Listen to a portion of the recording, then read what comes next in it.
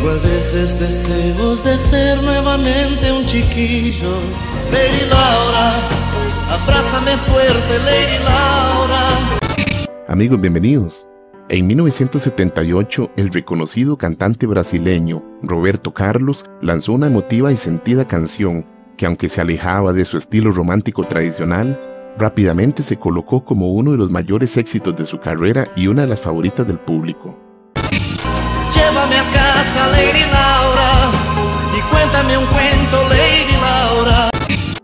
Quizás el éxito de esta canción se debió a que Roberto Carlos la escribió realmente con el corazón, ya que fue escrita para su madre, Laura Moreira Braga, su más grande admiradora y gran pilar de su vida y carrera. Laura Moreira Braga nació en 1914 en el departamento de Espíritu Santo. De oficio costurera, se casó con Robertino Braga y tuvieron cuatro hijos, el menor de ellos fue Roberto Carlos. Los amigos y las personas cercanas a Laura la llamaban Lady Laura, de cariño.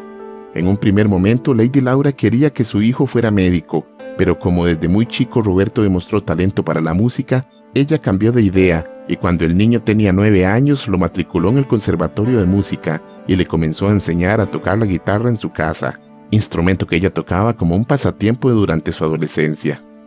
Haciendo grandes sacrificios económicos, ella misma lo llevaba a las radios y concursos y lo acompañaba a los ensayos y primeras presentaciones, convirtiéndose de esta forma en un elemento fundamental para que su hijo cumpliera su sueño de ser cantante.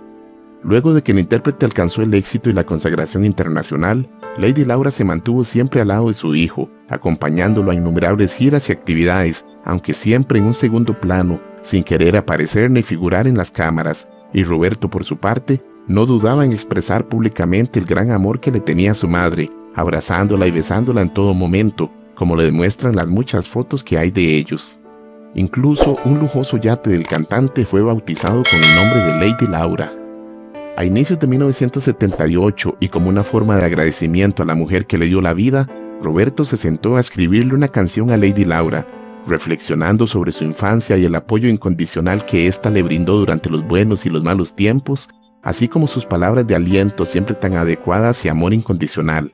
De este íntimo momento de reflexión surgió la letra de Lady Laura. Y en la hora que estoy afligido volverte a oír. Y cuéntame un cuento, Lady Laura. Un beso otra vez, Lady Laura. Unos meses después fue lanzada en un álbum que se llamó simplemente Roberto Carlos, y aunque iba acompañada por otros 10 temas, de inmediato superó a todos en éxito y aceptación del público. Lady Laura fue número uno 20 semanas en los principales rankings latinoamericanos. Además, el álbum que la incluyó vendió más de un millón de copias al año de su lanzamiento.